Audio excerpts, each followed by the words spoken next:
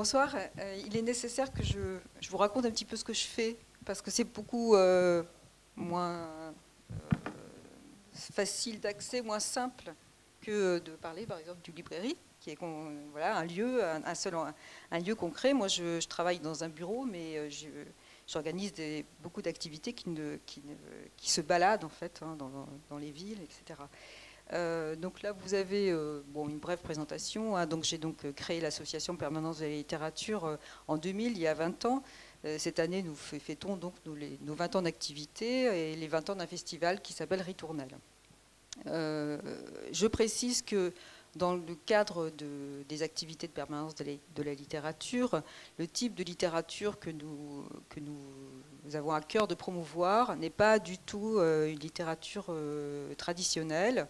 Euh, en général, on travaille euh, euh, à promouvoir une littérature qui dépasse beaucoup médiatisée.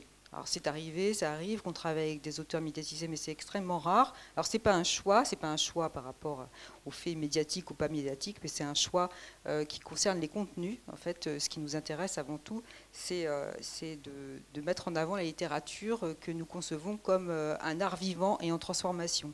Et donc moi, ce qui m'intéresse dans la littérature, c'est euh, de, sentir euh, son évolution dans le temps. Euh, et ce qui m'intéresse avant tout, ce sont les formes de la littérature. et ce qui m'intéresse aussi, c'est de, et ce qui m'a intéressé ces 20 dernières années, c'est de voir comment les frontières des genres ont pu être pas abolies, mais en tout cas bougées dans le cadre de la littérature française, puisque c'est, je m'intéresse essentiellement à la littérature française. On ne peut pas être spécialiste de tout euh, et, on s'est vraiment spécialisé dans la littérature contemporaine française. Donc au niveau des, activités de permanence de la littérature, elles ont évolué au fil des années. Euh, on a commencé par le festival, mais aujourd'hui, hop, je vais aller trop vite là, tac. Euh, donc on organise bien sûr des rencontres d'écrivains, on, a travaillé dans le cadre du Printemps des Poètes. Euh, on travaille, on, réalise des rencontres ou des lectures en librairie d'une manière assez régulière, euh, des ateliers d'écriture pour adultes assez rarement, à vrai dire. Et depuis quelques années, on, conçoit des, parcours d'éducation artistique et culturelle, donc ce qui s'appelle des projets EAC, éducation artistique et culturelle, qui sont des parcours destinés à à sensibiliser en fait les jeunes euh, à la littérature contemporaine. Donc on invite des auteurs et aussi des artistes à aller dans les écoles euh, pour rencontrer les jeunes et surtout créer avec eux des, formes littéraires. Donc, les, écrivains avec lesquels on travaille euh, mènent des ateliers d'écriture très spécifiques dans les, dans les écoles.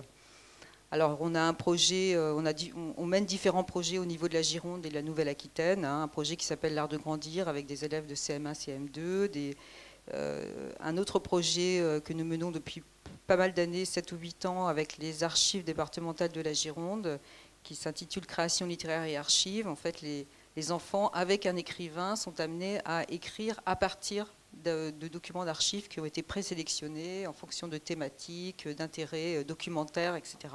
Donc on peut écrire à partir... Euh, on apprend aux, enfants que, euh, que écrire des textes de littérature,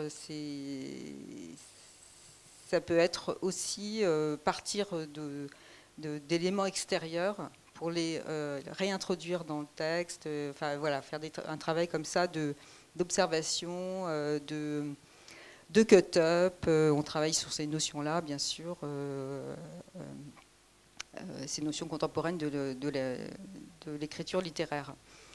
et donc la grosse activité annuelle de, permanence de littérature, c'est son festival, le festival Ritournelle, hein.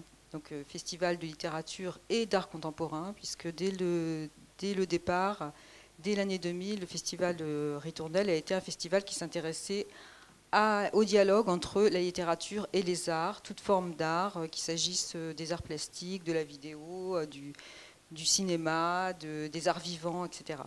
Et donc, depuis 2000 aussi, parallèlement au Festival Ritournelle, nous produisons avec des écrivains et des artistes. Alors, les premières années, ça se passait sous la forme de résidences d'écrivains et d'artistes. Et aujourd'hui, ce sont uniquement des, des productions, peu importe la partie résidence, qu'ils soient là ou pas. Les, artistes et les écrivains travaillent bien sûr beaucoup à travers des, Internet, etc. Les échanges se font d'une manière très différente et pas forcément de façon très statique, avec une résidence d'écrivain qui dure plusieurs semaines. Toujours est-il que nous produisons en fait des, œuvres littéraires et artistiques qui euh, prennent la forme de restitution ou sur la scène quand il s'agit d'art vivant et de littérature, ou c'est la forme de vidéo, on a produit des films, euh, euh, et donc on interroge tous ces langages. Quoi. Alors le festival Ritournelle, donc tous les, tous les ans depuis 20 ans, se passe à Bordeaux et aussi à l'extérieur de Bordeaux, dans différentes villes, mais enfin essentiellement à Bordeaux, dans plein de lieux comme le, des, musées, librairies, médiathèques galeries d'art, etc. Euh, et à cette occasion, euh, la programmation invite des écrivains à se produire d'une manière qui n'est pas forcément la manière classique de rencontre d'écrivains. On est sur autre chose. Euh, on essaie de, on est plutôt sur des lectures, sur des performances, sur des installations, expositions. production trio, là on vient de produire un trio entre deux écrivains et un musicien. Enfin voilà, toutes ces formes, toutes ces formes qui font qui font euh, en fait voyager les, langages artistiques. Donc les créations pluridisciplinaires, hein, donc euh, on a créé euh, au cours des années plus, de 20, plus de 20 créations qui, ont été qui ont, traversé la littérature donc, et la musique, la littérature et la danse, la littérature et le cinéma, etc. Et puis depuis 2017, il y a quand même un problème qui s'est posé pour nous, c'est le problème des publics qui suivent nos activités. Euh, on a eu des publics qui ont été très très présents pendant de nombreuses années et euh, qui, comme le public des librairies, euh, est devenu un peu vieillissant. C'est-à-dire qu'on s'est rendu compte que finalement ce festival qu'on mène depuis longtemps un public, un public fidèle, mais un public qui a entre 50 euh, et 70 euh, ans, grosso modo. Hein. c'est un peu comme en librairie. Euh, et donc on s'est posé ces questions-là. Alors c'est aussi, la raison pour laquelle on s'est mis, parce que ça, on ne l'a pas commencé les premières années, à, monter des, parcours d'éducation et, culturelle et artistique dans les écoles, parce qu'on s'est rendu compte qu'en fait, voilà, il fallait peut-être commencer à aller plus jeunes, à sensibiliser les jeunes à la littérature et, et aux arts contemporains. Euh, et, on s'est dit que peut-être qu'en créant une web radio, on a créé une web radio en 2017 qui s'appelle Radio Ritournelle, euh, qui donc fonctionne avec le festival, qui fonctionne toute l'année et qui, euh, à l'occasion du festival, est, activée en radio en direct. Et pendant les jours du festival, Radio Ritournelle est une radio qui dure plusieurs jours avec beaucoup de contenu qu'on crée pendant, l'année. Hein. on crée des enregistrements d'écrivains, des podcasts, etc. Et euh, à l'occasion du festival, on crée du live. Donc là, euh, pendant le festival, on peut suivre Ritournelle aussi en radio. Et en, fait, on a créé tout ça en se disant que peut-être on allait euh, toucher des publics plus jeunes, comme vous tous d'ailleurs. Mais bon, on n'en est pas sûr, c'est un début. Hein. Ça fait deux ans qu'on a créé ce, nouvel outil. qui, commence à, proposer beaucoup, beaucoup de contenu. On travaille aussi avec des, les grandes écoles, les écoles de Bordeaux, l'école des beaux-arts, euh, les écoles 3IS. Euh, on, fait permet à des étudiants de monter des créations radiophoniques qui sont ensuite euh, proposées pendant le festival et retransmises en direct. ensuite en podcast pendant l'année. Donc voilà, on essaie aussi d'impliquer les jeunes en fait dans, les contenus que nous on a envie de, promouvoir. Voilà. Euh, donc Radio Ritournelle. Alors dans le cadre de Radio Ritournelle, euh, il y a une série, on a, on a lancé une série radiophonique qui s'appelle euh, L'enfance de la littérature et qui est un petit peu, en fait, en quelque sorte, l'enfance de l'art appliquée aux écrivains. Donc dans, ce, dans le cadre de cette série, toute l'année, à différentes occasions, on, va rencontrer des écrivains et on leur demande de nous raconter sous la forme, en, parole en fait, la jeunesse de leur devenir d'écrivain. Et euh, cette, euh, cette, série euh, contient aujourd'hui plus de 50 témoignages d'écrivains.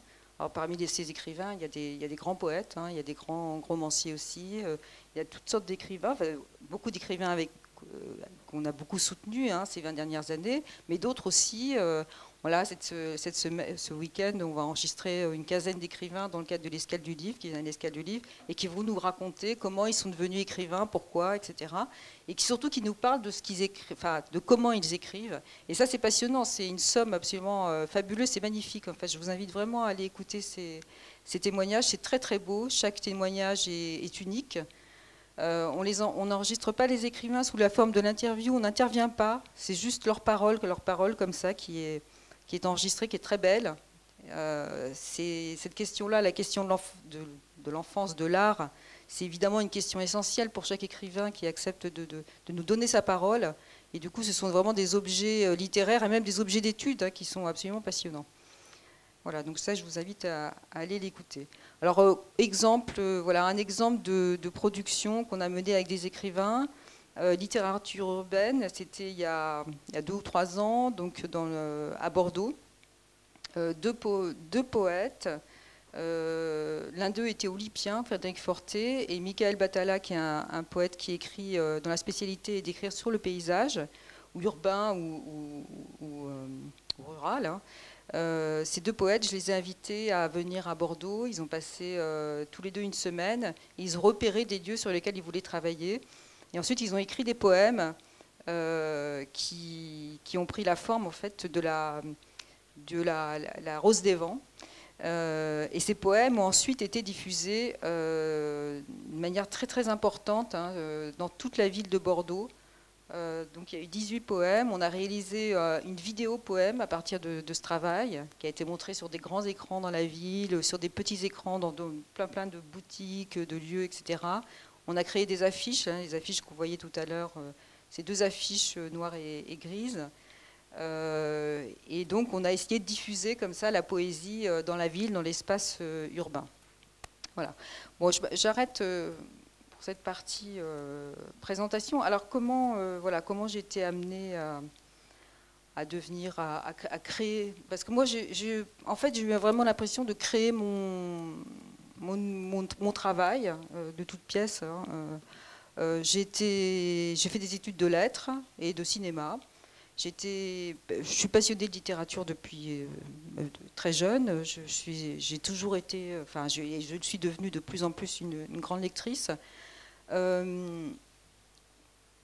qu'est-ce que j'ai Alors, j'ai été. alors, je dois dire que les études de lettres, ça a été important. Alors, ça n'a pas été la partie la plus importante euh, de, ma formation, mais, mais en tout cas, c'était vraiment une partie importante parce que euh, ça m'a permis en fait de prendre une distance par rapport à, mes lectures et euh, d'avoir aussi bah, d'avoir un esprit critique, quoi, en fait. Et donc les études de lettres, dans le, dans cadre de mes études de lettres, j'ai pas, pas vraiment rencontré la littérature contemporaine. Je l'ai rencontrée autrement. Je l'ai rencontrée en allant dans les librairies. Euh, je l'ai rencontrée en rencontrant des écrivains, des éditeurs, en allant dans des dans des, lieux, des festivals. Et aujourd'hui, il y en a beaucoup. Enfin, il y a beaucoup de festivals de littérature. Hein, mais a, à mon époque, quand j'étais étudiante, il n'y en avait pas tant que ça. Et en tout cas, moi, je recherchais ce, genre de, manifestations. Je recherchais euh, euh, les, animations avec des écrivains dans les librairies. Enfin voilà, j'étais très très euh, très curieuse de, tout. Et, surtout, je suis devenue pendant un certain temps critique littéraire. Euh, et c'est alors j'ai été critique littéraire pour un magazine qui s'appelle magazine de littérature euh, contemporaine qui s'appelle le Matricule des Anges. Et, euh, plus tard pour, un, pour une revue de poésie qui s'appelle Cahier critique de poésie. donc le Matricule des Anges, c'est un magazine qui existe toujours. Hein, c'est un magazine très intéressant hein, sur, la, sur, la, sur la recension en fait de la, des publications de littérature contemporaine hein, dans, tous les genres, hein, romans, euh, poésie, essais, euh, récits, nouvelles, etc.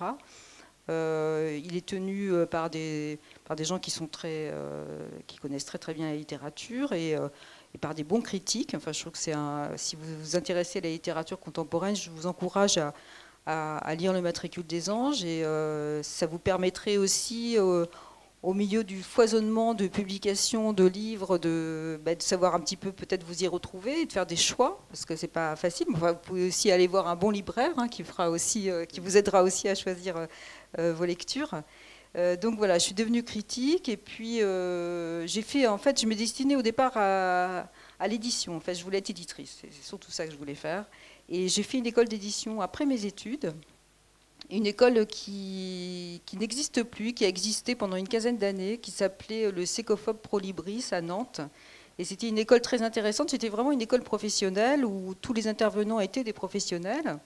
Et euh, c'était une école euh, vraiment très très bien pour les étudiants. Une toute petite école, on était 20, 20 dans, c'était vraiment une petite formation de, pour 20 personnes chaque année. Euh, et, la maison il y avait une maison d'édition au sein de l'école. En fait, l'école avait créé une petite maison d'édition.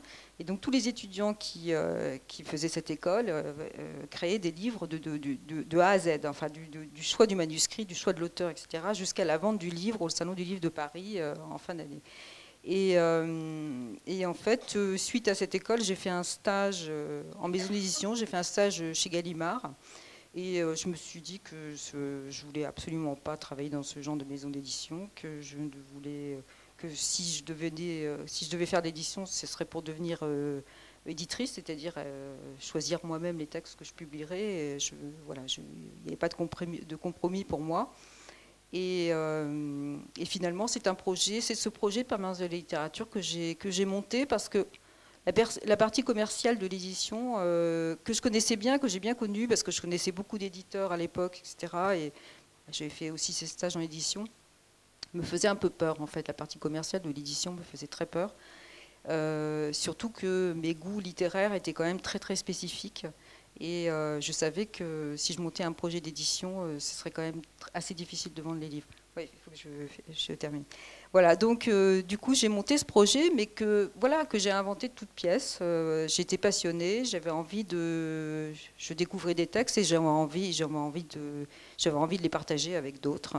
Et c'est comme ça que j'ai monté cette structure qui compte aujourd'hui. Euh, alors par contre c'est une toute petite structure et ce sera toujours une petite structure en termes de budget, etc. on est, c'est une structure qui est subventionnée donc par euh, les pouvoirs publics, hein, euh, par le, qui est subventionné par le ministère de la Culture, euh, le Centre national du livre, la région, le département, etc. Et qui compte deux salariés, voire une troisième personne qui peut être ou stagiaire ou en service civique, etc. Et en fait, on, peut difficilement aller plus loin parce qu'on est aussi sur... notre travail, c'est de mettre en valeur en fait une littérature qui est une littérature, comme on dit souvent, de niche en fait, une littérature qui n'est pas très médiatisé, qui n'attire pas des foules. Euh, donc euh, voilà la difficulté qu'on a, c'est quand même ça. Quoi. Euh, si vous avez des questions, je vous, je vous, raconterai un peu plus précisément en quoi consiste mon travail dans le détail, mais je vais laisser la parole à mon voisin, je crois.